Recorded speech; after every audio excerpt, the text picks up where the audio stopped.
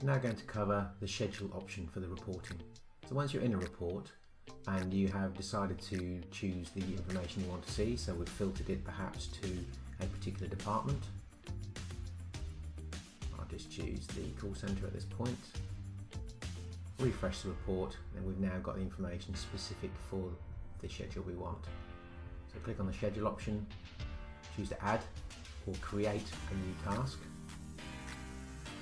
We're going to add it to a task. So our daily reports, we're going to give it a new name so we know what it's called. Call that CC. Choose as a PDF or CSV and save.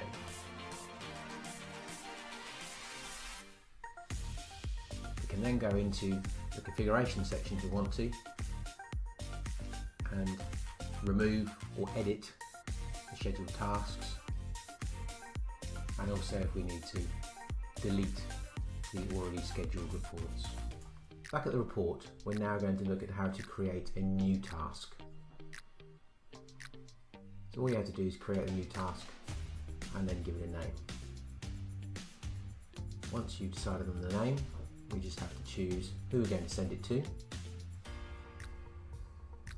We can also add as many people as you want on the CC list. Choose the date you want to start the report running